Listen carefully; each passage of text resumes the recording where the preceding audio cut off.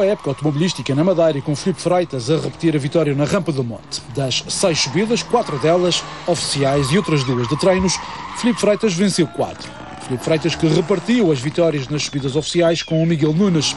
Freitas que, pelo meio, apanhou um valente susto com este percalço que provocou danos ligeiros no Mitsubishi. Nós vamos Vitória, nós infelizmente nesta rama tivemos um percalço, damos um toque, também tivemos um problema no diferencial central, não temos pressão devido à bomba, eh, penso que está variada, outra está bloqueada, eh, mas na última subida tínhamos de atacar e batemos o recorde e conseguimos chegar à frente do Miguel Nunes, que era o nosso principal objetivo.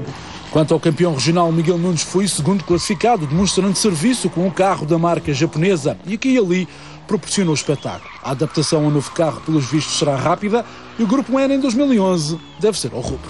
Superou muito as nossas expectativas. Eh, nós tivemos o primeiro contacto com o carro ontem, apenas 15 km. Não estava à espera de hoje termos um ritmo eh, tão forte como, como aquele que se verificou. Uh, isto deixa-nos boas perspectivas para o futuro. Terceiro lugar para Duarte Ramos, com uma boa estreia com a Evolução 9, e Ana Sofia Correia foi quarta classificada na estreia do C2.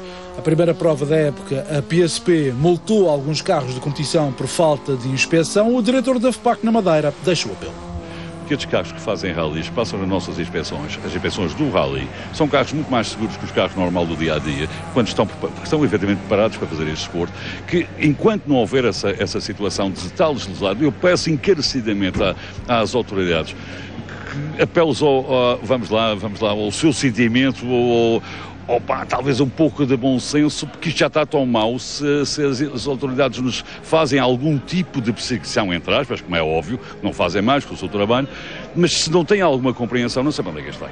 Resumo alargado da prova, Rampa do Monte, para ver no Domingo Desportivo da RTP Madeira.